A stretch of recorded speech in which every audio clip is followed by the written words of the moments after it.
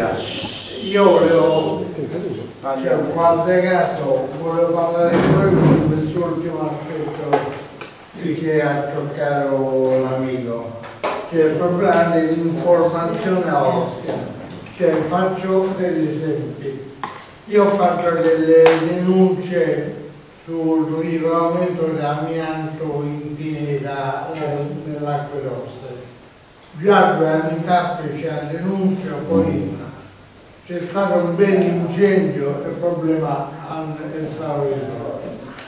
Adesso ho trovato altro amianto, canzone dell'acqua, Eternit e compagnia, ho fatto denunce alla uso, l'acqua, pare almeno su internet, sulla posta elettronica, ho, vi, ho visto che hanno ricevuto, la, almeno hanno aperto la posta, la posta, che quando uno lo spedisce dice avviso di lettura almeno visionare però tuttora niente che la precedente denuncia la, al servizio eh, Giardini ai vigili a circoscrizione quello ne può fare niente ho fatto diciamo l'appello per la canale 10 documentando con fotografie e compagnia mi hanno detto che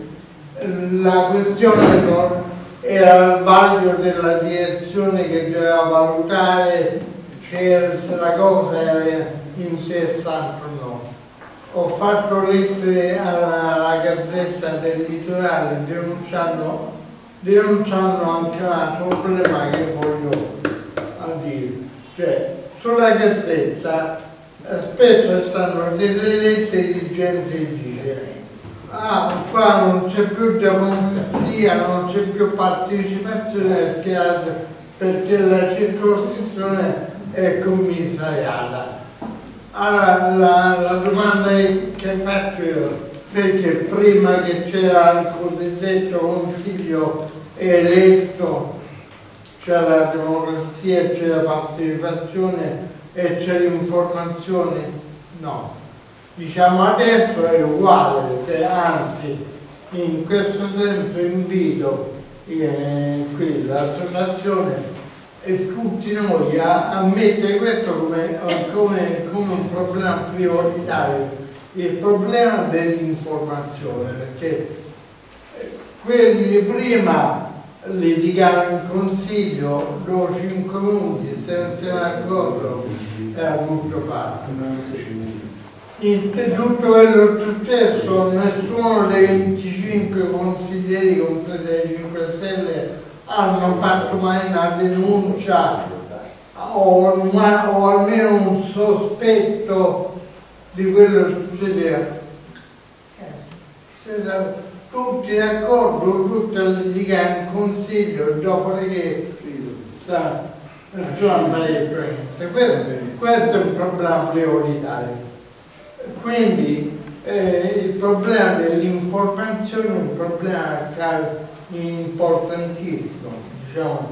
Questo non significa che io applico le, le, diciamo, il, le elezioni a breve termine, anzi io dico ben vengano i 18 mesi, a meno che, a patto che diciamo questi 18 mesi siano utilizzati a andare a spulciare tutti gli atti amministrativi, perché non basta dire che non, che non sono state fatte diciamo, le, diciamo, gli appalti diciamo, secondari, l'appalto pubblico, ma è stato rinnovato diciamo, le convenzioni e come adesso eh, dietro la, la denuncia dell'assessore ai trasporti eh, all'Africa, io ho lavorato, so bene come andare le cose, l'SU